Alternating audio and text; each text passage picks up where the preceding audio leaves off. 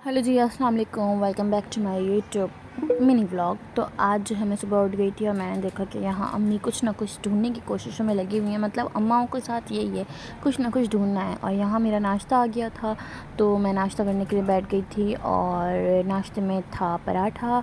और ये मेरे साथ बैठ गए थे नाश्ता करने के लिए। हम दोनों नाश्ता कर रहे थे और यहाँ हो रही थी बदतमीज़ियाँ। यहाँ खेल रहे थे। इन लोग के खेल ख़त्म नहीं होते। मतलब बच्चों के साथ यही मसले हर वक्त खेल, हर वक्त खेल। और यहाँ अम्मी बैठी हुई थी, मैं प्याज काट रही थी क्योंकि आज हमारे यहाँ आ रहे हैं मेहमान और यहाँ काम हो रहे थे, किचन में खाने बन रहे थे और यहाँ अम्मी तैयारी कर रही थी। सोच रही थी कि यार मतलब मुझे सफाइयाँ करनी है, इतना गंदा घर हो रहा है और काश ऐसा होता कि जो वीडियोस में दिखाते हैं, मैं यूँ चुटकी बजाऊँ और यूँ हो जाए। काम और ऐसा हो गया। मतलब यार ऐसा हो जाए, अगर रियलिटी ऐसी हो तो मतलब मज़ा ही आ जाए। और मैं यूँ चुटकियों में मेरा घर साफ़ हो जाए? कितना मज़े का काम होगा ना ऐसा। तो खैर, अब जो है मेरा काम थोड़ा बहुत हो गया था मेरा, लेकिन अब जो है कमरा साफ़ हो गया था, झाड़ू दिलनी थी, सफ़ाई करनी थी तो यहाँ मैं झाड़ू दे रही थी और मेरी पीछे से मेरी जो भांजी है उसने जल्दी जल्दी वीडियोस बना दी। यहाँ मैं कुशन को कवर में डालने की बिल्कुल कोशिशों में लगी हुई थी कि ये किसी तरीके से कवर जो है चढ़ जाए और मैं इसको चढ़ा दूँ। यहाँ खाने में यहाँ कस्टर्ड बन रहा था और मैंने सोचा थोड़ी सी वीडियोज़ बना लेती हूँ और जो मेहमान आ रहे थे उनके लिए तैयारी भी करनी थी तो कस्टर्ड बन रहा था, यहाँ चावल डल रहे थे बिरयानी के लिए और यहाँ कस्टर्ड भी तैयार हो चुका था और यहाँ ये अपनी कोशिशें पूरी जारी थी और तैयारियों में यहाँ सब तैयार हो गए थे, लेकिन मेरा ये सीन था कि मेरी तबीयत थोड़ी सी ख़राब हो गई थी और किचन में काम हो रहे थे, यहाँ वेटिंग हो रही थी वेट कर रहे थे सब मेहमानों का और मैं यहाँ बैठी हुई थी। क्या कर रही थी? मैं यहाँ स्ट्रेटनर लेकर बैठी हुई थी कि यार मैं स्ट्रेट करूँ, बाल इतनी सुस्ती हो रही थी कि बस।